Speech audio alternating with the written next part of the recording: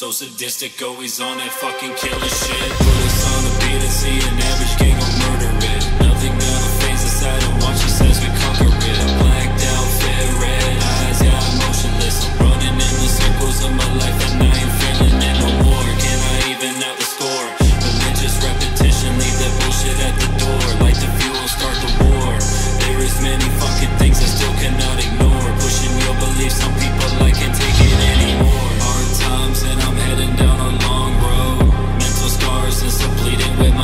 closed. Many scary stories